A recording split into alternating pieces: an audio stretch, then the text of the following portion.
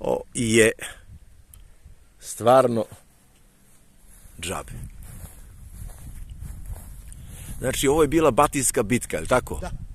Znači, spomenik, ovo bitka koja je bila u drugom svjetskom ratu, U da? svjetskom ratu Rusi, Da. Ukrajinci Protiv Nemaca. protiv Nemaca. Da. Pa, protiv fašista, ne? Koliko ima aviona na nebu, gledaj tamo. Čudo. Čudo. Ovo je tamo Mađarska, je li tako? Mađarska. To je Mađarska. Ovo je ovdje Hrvatska, a ono je tamo Srbija. Tu, Srbija, tu, Ovo je Srbija. Ovo ispred je Srbija. Da, Tromet, da. To je reka Dunav, granični prelaz Bezdan. Bravo. Da.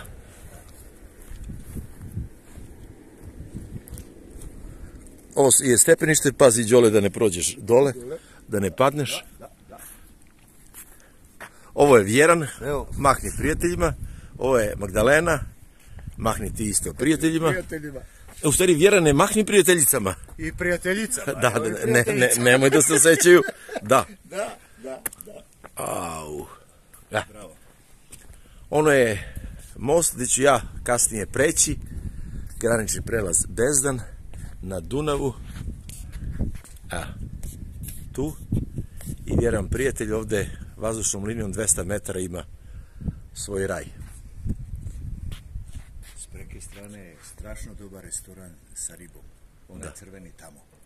Da bi tamo otišli morate da imate pasoš. Oni mogu da idu i sa ličnom kartom, a mi sa pasošom i dalje. To je to. Ste vidjeli dole parking, sve.